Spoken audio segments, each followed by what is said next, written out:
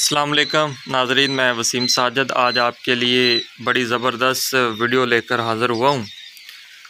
अक्सर फार्मर्स की तरफ़ से कॉल मसूल होती है कि हमारा जो बटेर है, ये बीमार हो गया है।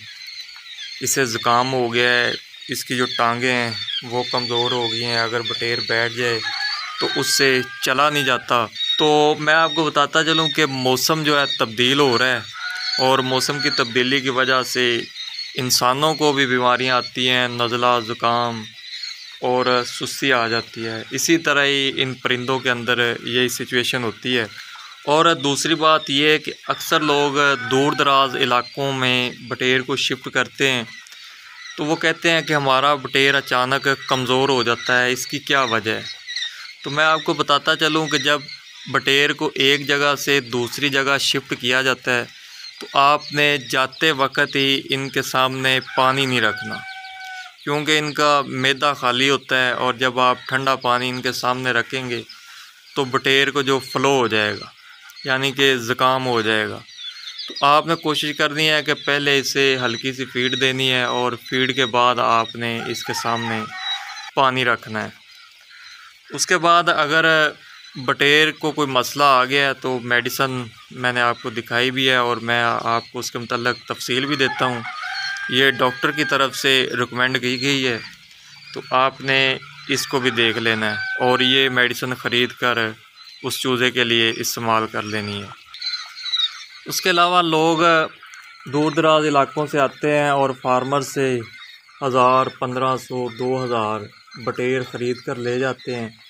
और फिर अपने इलाकों में जाके इसकी मार्केटिंग करते हैं और पैसा कमाते हैं। तो उन लोगों को भी मैं एक मशवरा दूँगा कि अगर आपका बटेर 110 ग्राम का हो जाए या 105 का हो जाए 100 ग्राम तक चला जाए तो आप इसको फ़ीड ना डालें। क्योंकि जो फ़ीड की फ़ी बोरी है, वो तकरीबन तैतीस सौ रुपये की मिल रही है। तो आपको चाहिए कि आप मक्की लें, जिसे मकई बोलते हैं, माइस। तो उसको बारीक करें, उसका दलिया सा बनवा लें, वो इसके सामने डालें।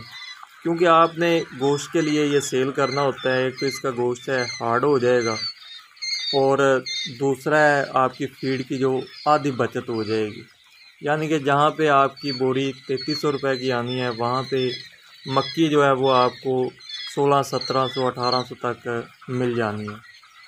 उसके अलावा अगर आपने ब्रीडर बनाने हैं, यानी कि इनसे अंडे लेने हैं तो फिर आपने मक्की वगैरह नहीं डालनी। तो ये मैं अपनी पहली वीडियो के अंदर भी बता चुका हूँ।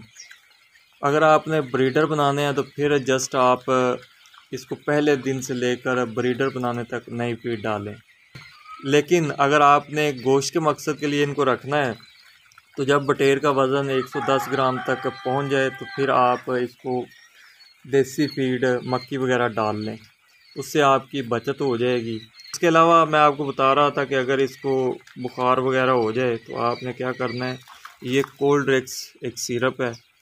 ये आपने परचेज़ कर लेना है, ये फ़्लो, फेवर और ठंड के लिए और खांसी के लिए।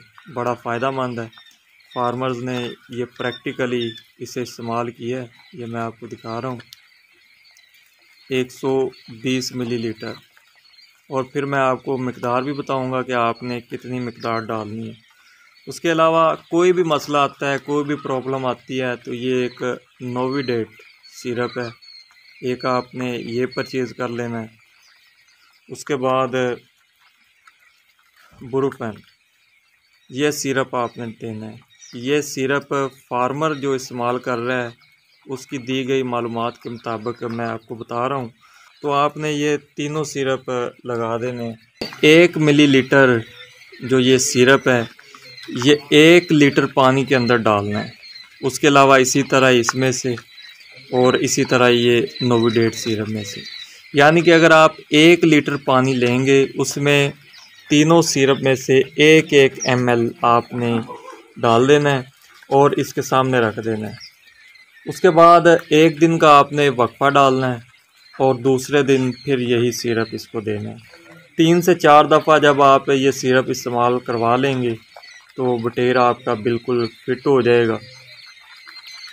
जी तो नाजरीन, उम्मीद करते हैं आपको हमारी आज की वीडियो अच्छी लगी होगी। अगर वीडियो अच्छी लगे तो वीडियो को आपने लाइक कर देना है, चैनल को आपने सब्सक्राइब कर लेना है, ताकि जो हर नई आने वाली वीडियो है वो आप तक पहुँच सके। जी तो नाजरीन, मिलते हैं नेक्स्ट वीडियो में, तब तक के लिए अल्लाह हाफिज़।